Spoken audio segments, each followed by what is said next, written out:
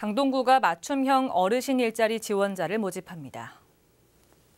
모집 대상은 만 65세 이상 기초연금 수급자며 매월 최소 27만 원에서 최대 230만 원 상당의 임금을 받을 수 있습니다. 선발된 어르신은 소정의 의무 교육을 받은 뒤 환경 정비, 복지시설 관리, 급식 도우미 등 공공서비스 분야에서 일하게 됩니다. 신청을 원하는 어르신은 신분증을 지참하고 동주민센터나 지역복지관에 방문해 접수하면 됩니다.